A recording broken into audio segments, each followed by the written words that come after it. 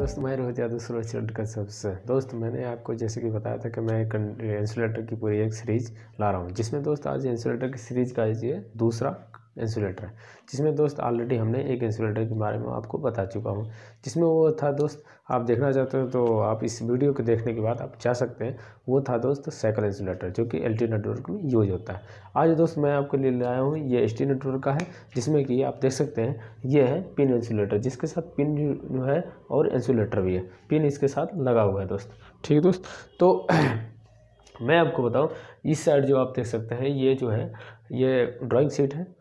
Drawing sheet में आप देख सकते हैं विथ डायमेंशन। ये क्या है दोस्त? विथ डायमेंशन मतलब डायमेंशन के साथ ये दिखाया गया है, जिसमें आप देख सकते हैं। उसके साथ ये पिन है, जो कि मैंने इस समय कॉलेज टाइम में दोस्त, ये जो है, ड्राइंग हॉल में, ड्राइंग टेबल पे ये बनाया था विथ एम डी मतलब एम डी के साथ बाई एम डी द्वारा बनाया था तो एम डी के साथ, जिसमें आप देख सकते हैं, ये लिखा भी हो कुछ।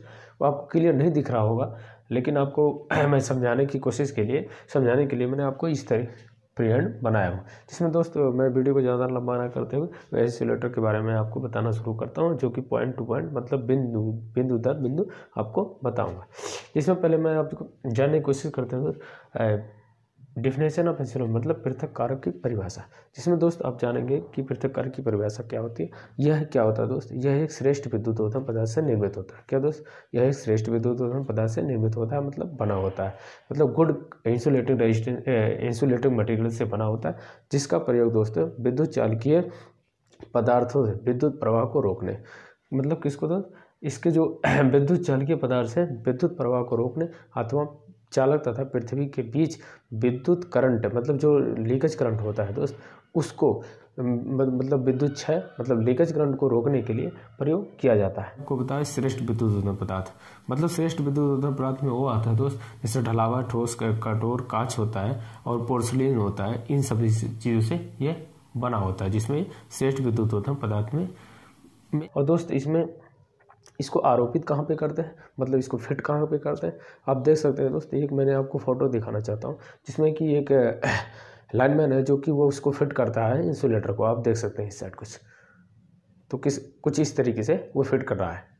ठीक है दोस्त तो ये फिट करते हैं क्रॉस आर्म पे, या एफ़ क्लैंप होता है, जो कि आप देख सकते हैं, जैसे मैंने आपको वीडियो में दिखा, फ़ोटो में दिखाया है कि वो एफ़ क्लैंप है, उसके साथ वो लगा रहा है इंसुलेटर को। ठीक है, अब आगे बढ़ते हैं। कि अब इसके यांत्रिक मतलब इसके जो है अभिलक्षण के बारे में आपको बताऊँ, अभिलक्षण के बारे में आगे बढ़ते हैं, जिसमें यांत्रिक सामर्थ मतलब मैकेनिकल स्ट्रेंथ। इसकी मैकेनिकल स्ट्रेंथ जो है दोस्त, यांत्रिक सामर्थ्य भी अच्छी होनी आवश्यक है, जिसमें आप देखेंगे दोस्त कि स्पेन जो है, इसका मतलब पाथ जो है बहुत लंबा होता है। ये सौ मीटर के या उससे भी ज़्यादा हो सकता है, डेढ़ सौ मीटर। आज के समय में सत्तर मीटर या सौ मीटर के करीब नया मतलब स्पेन है, लेकिन उस समय जो है काफ़ी जो है ज़्यादा स्पेन होती। है इसलिए यांत्रिक सामर्थ्य इसकी अच्छी होनी चाहिए ताकि ये जो है कंडक्टर को और जिस पे फिट किया गया क्रॉस आर्म के बीच, ये अच्छी तरीके से बना रहे ताकि इसकी सपोर्ट कंडक्टर को सपोर्ट दे सके। पराविद्युत सामर्थ्य मतलब डायलैक्ट्रिक स्ट्रेंथ मतलब इसकी जो डायलैक्ट्रिक स्ट्रेंथ होती है दोस्त पराविद्युत सामर्थ्य ये भी अच्छी होनी चाहिए ताकि जो है जो वोल्टेज ब्रेकडाउन होता है दोस्त, उसको रोक सके या कम से कम कर सके। रोक सके, रोकने के लिए आपको पारा विद्युत सामर्थ्य भी अच्छा होना चाहिए। उसका विद्युत रोधन प्रतिरोध होता है दोस्त इंसुलेटिंग रेजिस्टेंस इसका विद्युत रोधन प्रतिरोध ये बहुत आवश्यक है दोस्त, क्योंकि इंसुलेटिंग रेजिस्टेंस इसका अच्छा नहीं होगा। तो क्या होगा दोस्त जो इलेक्ट्रिक करंट है, वो लीकेज मतलब जो इलेक्ट्रिक लीकेज करंट है, वो उसको रोकने से रोक नहीं पाएगा, जिसमें आपको यंत्र विद्युत सामर्थ्य होना विद्युत प्रतिरोध होना आवश्यक है, ताकि इसके इलेक्ट्रिक क्षय को रोकने के लिए मतलब विद्युत क्षय को रोकने के लिए अच्छा रहे। उसके बाद छिद्र रहित होना चाहिए मतलब पोर्सलेस होना चाहिए, जिसमें कोई किसी तरीके से दोस्त, इसमें कोई छिद्र नहीं होना चाहिए, ये बिल्कुल चिकना और स्मूथ होना, जैसे कि आपको आप अभी मैं दिखाने वाला हूँ, इंसुलेटर कुछ इस तरीके दिखाया जाता। उसके बाद ताप परिवर्तन के लिए रोध क्षम मतलब इम्यून होना चाहिए। मतलब इसके जो विषम परिस्थितियों में क्या होता है दोस्त, जैसे अभी सर्दी चल रही है, उसके बाद गर्मी आ जाएगी। तो ऐसा ना हो कि इसके ताप बढ़ने से इसमें खुद के परिवर्तन आने लगे, जो कि इसके कई सारे गुण हैं, उसको खो दे। इसलिए इसके ताप परिवर्तन के रोध क्षम मतलब होना चाहिए दोस्त इम्यून होना चाहिए। उसके बाद आपको बताऊँ, संपीड़न सामर्थ्य। संपीड़न सामर्थ्य होता है जो आप इसके बारे में अगर जो इन सब के बारे में समेंडर सामर्थ्य या प्रदोष सामर्थ्य के बारे में जानना चाहते हैं तो कमेंट कर सकते हैं। ये होता है तो सात हज़ार के जी सेंटीमीटर स्क्वायर उसके बाद इसमें दूसरा पॉइंट है परावैद्युत सामर्थ्य हो सिक्सटी मतलब साठ के बी प्रति सेंटीमीटर स्क्वायर होता है। ये आपको मैंने थोड़े से डिटेल में मैंने जो आपको बताया, ये जैसे पॉइंट टू पॉइंट ये डिफिनेशन था और ये अवलक्षण थे उसके। तो ये सारी चीज़ें मैंने आपको बता दी। उसके बाद आते हैं इंसुलेटर जिसके साथ मैं इंसुलेटर के साथ ही आपको समझाने वाला हूँ दोस्त। आप देख सकते हैं दोस्त, कुछ इस तरीके से इंसुलेटर होता है। कुछ इस तरीके से बना होता है, जो कि एक, दो, तीन, ये सारे पार्ट में अलग अलग बने हुए हैं। आप देख सकते हैं। तो अब शुरू करते हैं दोस्त। इसमें आप देखेंगे, ये पहले आप जो देख रहे हैं यहाँ पे, ये ग्रुप बना हुआ क्या बनाया हुआ है दोस्त? ग्रुप ये जो दोस्त ग्रुप बना हुआ है, ये लगभग ये देखेंगे, ये ग्रुप का साइज़ जो है लगभग अट्ठारह एम होता है। कितना होता है? अट्ठारह एम एम अट्ठारह एम इसकी ग्रुप की साइज़ होती है, जो कि दोस्त यहाँ पर कंडक्टर को फिट किया जाता है। मतलब मैं आपको कंडक्टर दिखाता हूँ। कुछ इस तरीके से कंडक्टर को फिट किया जाता है। जिसमें इस तरीके से कंडक्टर को फिट करने के बाद इसको बाइंडिंग वायर वायर द्वारा इसको बाँध दिया जाता है।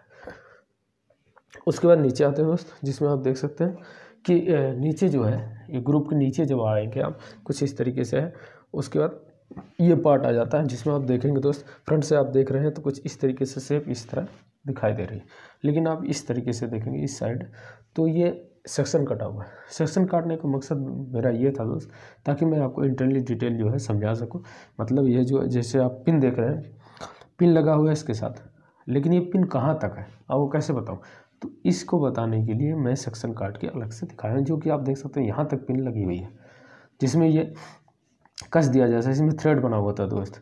इसके अंदर देखेंगे दोस्त, ये ये आपको दिखाई तो नहीं देगा शायद। ये सीमेंट के द्वारा अंदर जो है थ्रेड है इसका, इसमें भी बना हुआ है और पिन में भी बना होता है जिसके द्वारा ये कस दिया जाता है। उसके बाद नीचे आते हैं कुछ इस तरीके से अलग अलग और इसकी सो साइज़ दो सौ सोलह सोलह जो है एम एम है, पूरी। मतलब आप देखेंगे इसका टायर जो है दो सौ सोलह एम एम है। उसके बाद नीचे आएँगे, कुछ ये आ जाता है पार्ट, ये आप देखेंगे, उसके नीचे ये आ जाता है, जो कि इस तरीके से। इसमें कुछ ज़्यादा नहीं तो उसके बाद नीचे आते हैं, जिसमें आप देख सकते हैं कि ये स्प्रिंग वार्सल है और इसके साथ नट है, जो कि नट देखेंगे दोस्त, ये अलग अलग डाय मतलब ये अलग अलग डाय के ये पतला है, कुछ मोटा है। इसमें दो नट दिए हैं इसके साथ एक स्प्रिंग वार्सल। जैसे कि आप देख सकते हैं, आपको दिखाना चाहता हूँ कुछ इस तरीके से होता था। इसमें अंदर जाके ये बैठ जाता। कुछ इस तरीके से। अभी ये टाइट हो रहा है दोस्त। देखो, आप बिल्कुल देख सकते हैं। इसके साथ पिन है और इसके साथ इंसुलेटर तो आपको अभी अलग करके केवल मैं पिन दिखाता हूँ जो कि आपको आगे। इसको ओपन कर लेते हैं, खोल लेते हैं दोस्त। और आगे बढ़ते हैं। मैं आपको बताऊँ, और आपको चेक करके भी बताने वाला हूँ कि एक्चुअल में जो कॉलेज टाइम में डायमेंशन हमने डायमेंशन के द्वारा एक जो फिगर बनाया था, वो आज एक्चुअल एक्चुअल में है कि नहीं? ये एक्चुअल में है या नहीं? तो इसको आप समझाने की कोशिश करता जिसके मैं दोस्त, इसी के बारे में सारी वीडियो बना रहा हूँ कि जो हमने कॉलेज टाइम में पढ़ा है, वो जो हमें साइड में मिल रहा है, क्योंकि लैब में हमें दिखाई तो जाता नहीं, ताकि मैं आपको ये समझा सकूँ। ठीक है दोस्त तो आगे बढ़ते हैं। और जिसमें फोर्टी फाइव एम एम जो है आप देख रहे हैं, इसका थ्रेड बना हुआ है। मतलब इसमें चूड़ियाँ जो कटी हुई हैं, वो फोर्टी फाइव एम एम है। तो मैं फोर्टी फाइव एम एम तक ले जाता हूँ। मैं फोर्टी फाइव एम तक इसको ले जाता हूँ। Sorry forty four M M forty four M M दोस्त फोर्टी फोर एम एम तक इसको ले जाता हूँ। कुछ दोस्त एक पॉइंट एक वन एम थोड़ा सा इसमें एडजस्ट नहीं हो पा रहा तो मैं आपको दिखाना चाहता हूँ ये कितना है। ये फोर्टी फोर एम एम आप देखेंगे दोस्त, लगभग फोर्टी फोर एम एम का, ये जहाँ तक सही थ्रेड बने हुए हैं, वो forty four M M actual है। वो कितना है दोस्त? जहाँ तक सही थ्रेड बने हुए हैं, वो फोर्टी फोर एम एम है। उसके बाद इसके नीचे आते हैं दोस्त, जिसमें देखें दोस्त, ये इसके नीचे जो है, इसके जो लंबाई है, वो आपको चेक करो।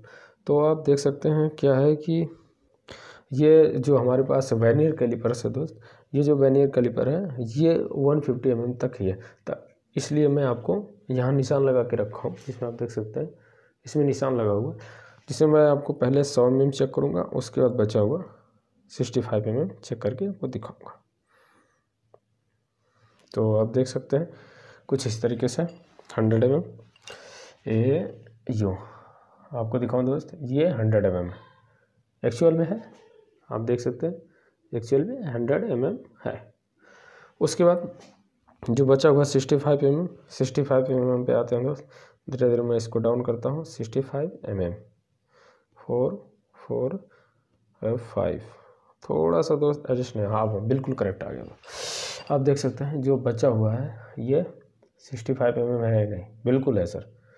दोस्त, आप देख सकते हैं, बिल्कुल ये सिक्सटी फाइव एम एम तक है। तो ये मैंने आपको चेक करके दिखा दिया one sixty five M M. ये आपको थ्रेड चेक करके दिया दिया, दिखा दिया, जो कि आपको फिजिकली मिल रहा है। उसके बाद यहाँ से आते हैं दोस्त, जब आपको नीचे आएँगे यहाँ से तो वो वन फिफ्टी एम एम है। ये पूरा जो है दोस्त यहाँ से लेकर वन फिफ्टी एम एम, जिसमें अलग से थ्रेड कटा हुआ वो हंड्रेड एम एम। तो मैं आपको पहले दिखाऊँगा hundred M M. Hundred M M जो थ्रेड कटा हुआ है, उसको आपको चेक करके दिखाता हूँ कि हंड्रेड एम एम थ्रेड जो कटा हुआ है वह वास्तविक है या नहीं, जो हमारे पास पिन है। तो आप देख सकते हैं, ये जो थ्रेड कटा हुआ है, बिल्कुल करेक्ट है। आप मान सकते हैं कि ये हंड्रेड एम है। ये थ्रेड कटा हुआ, बिल्कुल हमें हंड्रेड एम मिल रहा है। उसके बाद वन फिफ्टी एम जो कि मेरा पूरा कैलिपर खोलने के बाद दोस्त, ये वन फिफ्टी एम पूरा हमें डाउन करना पड़ेगा। जिसमें आप देख सकते हैं।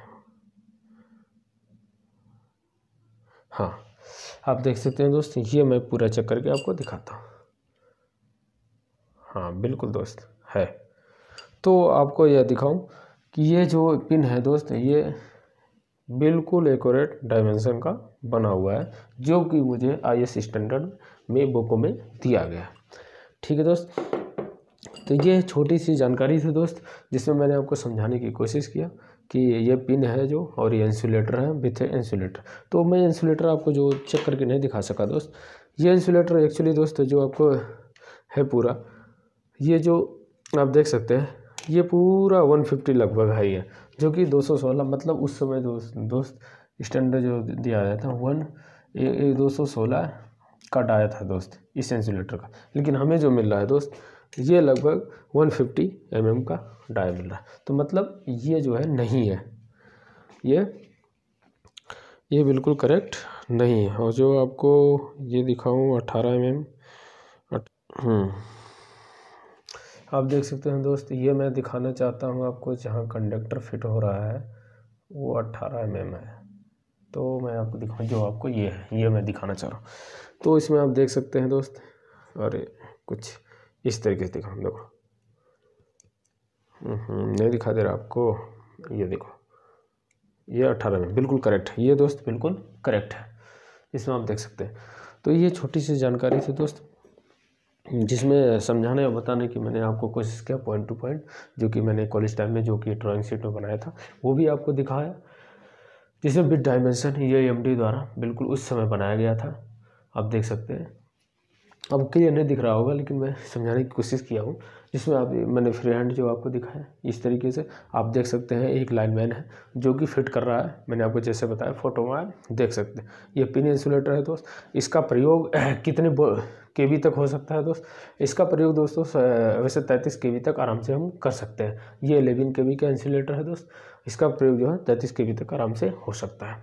तो ये छोटी सी वीडियो थी दोस्त। जिसमें आपको समझाया और ऐसी आपको वीडियो देखनी है तो मेरे चैनल को सब्सक्राइब कर सकते हैं और आपको ये वीडियो अच्छी लगी हो तो लाइक कर सकते हैं। और हाँ दोस्त आज अब अगर जो आपको बैनियर कैलिपर से आपको किसी कि किसी डायमेंशन लेना हो नट बोल्ट या किसी चीज़ का डायमेंशन आपको चेक करना हो तो आप ए, मेरी एक वीडियो वेनियर कैलिपर के बारे में जो कि आपको अलग अलग उसमें बताया हूँ कैसे आप चेक करेंगे किसी का डायमेंशन ठीक है दोस्तों ये छोटी सी वीडियो थी देखने के लिए आपको बहुत बहुत धन्यवाद।